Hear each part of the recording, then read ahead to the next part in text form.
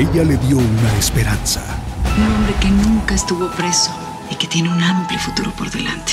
Es una profesional dispuesta a todo por su paciente. Porque este señor te estará ayudando tanto.